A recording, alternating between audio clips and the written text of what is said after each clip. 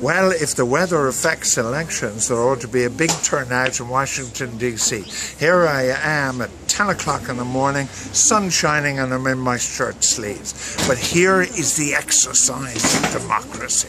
It's extraordinary nation on whose uh, Statue of Liberty it says, Send me your poor and your huddled masses. And we see them here, all colours, shapes, and sizes, some barely able to speak the language. And the critical thing, and we must hope for this, that across America there may not be legal challenges like we saw in Florida where people were not allowed to exercise their franchise. A lot harder to vote here than it is back home in Ireland where you just turn up without your voting card and off you go. It's really great. I get so excited on a day like this.